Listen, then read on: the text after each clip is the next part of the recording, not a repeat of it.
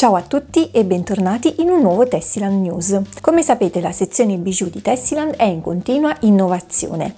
Non potevano quindi di certo mancare i distanziatori per poter creare i vostri bijou handmade o per personalizzare le vostre creazioni, unico nel suo genere. Andiamo a scoprirli insieme.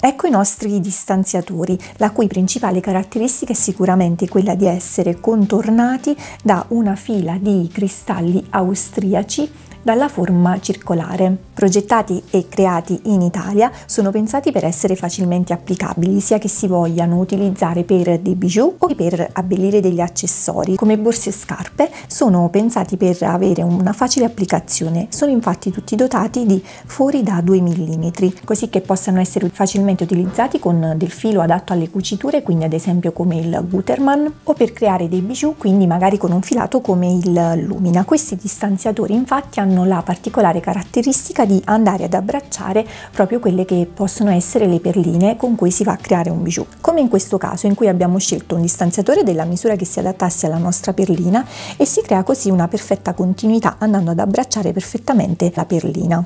I distanziatori sono disponibili sia nella versione argento che in quella oro e nel dettaglio abbiamo il distanziatore quadrato disponibile con misura da 4, 6, 7 e 9 mm il distanziatore cerchio, disponibile nella misura di 5, 6, 7, 10 e 13 mm.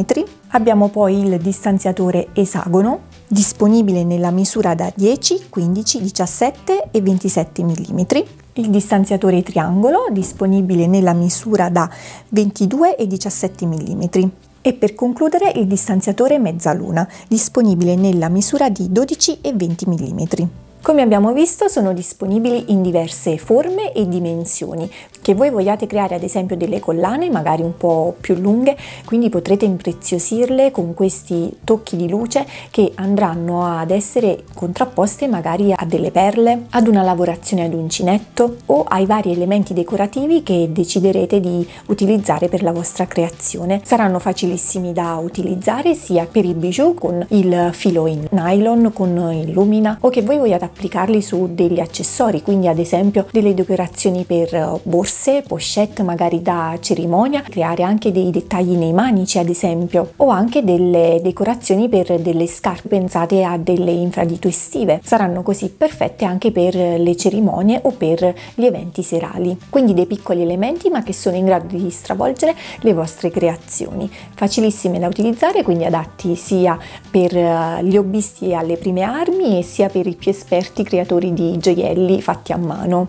Io come sempre vi aspetto al prossimo Tesla News, ma prima vi ricordo di seguirci su tutti i nostri social, la pagina Facebook Meglio di Maglia e il nostro gruppo ufficiale Tessiland, ma anche Instagram, TikTok e Pinterest. E non dimenticate il nostro blog, dove ogni settimana ci sono tantissime novità. Al prossimo Tessiland News! Ciao!